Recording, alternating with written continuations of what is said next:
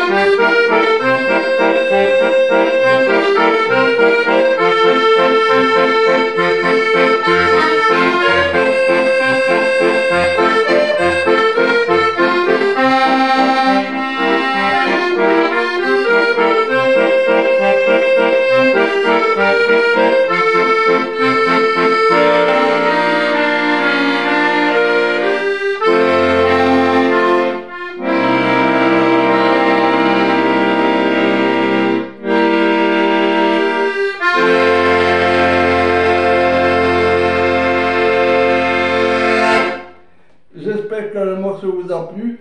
Très bon dimanche à tous et à bientôt pour une prochaine vidéo. Bisous